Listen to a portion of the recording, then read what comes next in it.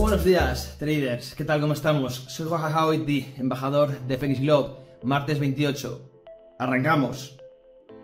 Bueno, estamos con el Opening Bell, comunidad de FX Globe, y vamos a repasar un poco actualidad y posiciones. Ayer, sesión divergente entre Europa y Estados Unidos. Europa de nuevo más fuerte, rebote importante del sectorial bancario, con Deutsche Bank subiendo. Parecía que eh, todo el pánico que azotaba al banco alemán era más por eso, por psicología, que por propia Hemos estudiado el balance del banco y parece que tiene una posición de liquidez bastante más importante que, por ejemplo, otros que sí estaban cayendo, ¿no? Hablando banca regional estadounidense, además, ahora la banca regional estadounidense con, peso importante en estas hipotecas comerciales que pueden ser lo próximo a estallar, o Credit Suisse que sí venía con unas pérdidas eh, latentes y no latentes pues muy importantes. Deutsche Bank, insisto, ahora con una posición, eh, unos ratios de, capital creo que bastante más eh, solventes y por lo tanto quizá azotada por escándalos pasados y no, por, no tanto por situación presente. Y es normal, ayer rebote importante, esto contagió evidentemente a las bolsas europeas, pero vimos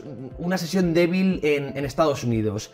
Nosotros mantenemos, ya lo sabéis, la hoja de ruta eh, bajista para, para, Estados Unidos. Eh, ahora nos han hablado mucho del no landing, del soft landing, todo tipo de, nombres orwellianos para evitar decir recesión y lo que vamos con casi total seguridad es a eso, a una recesión.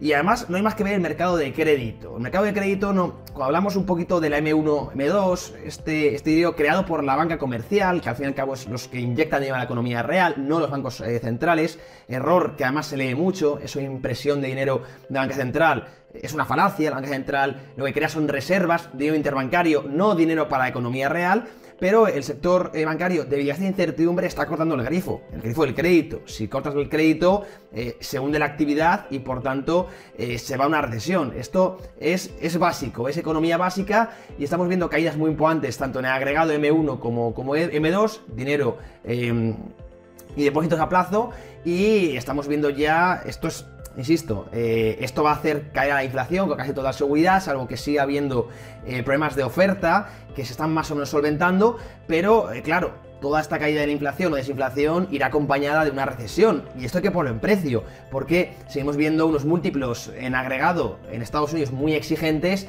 y por lo tanto seguimos pidiendo corrección a medio plazo, ¿eh? evidentemente con sus rebotes alcistas de corto plazo, esto es bolsa, ya sabemos cómo funciona, el FOMO, Animal Spirits, pero eh, alejándonos de todo esto, seguimos teniendo una hoja de ruta creo que claramente bajista, con entornos de 3.600, SP500, eh, para que nos hagamos una idea, mínimos eh, marcados en este bear market, ¿no?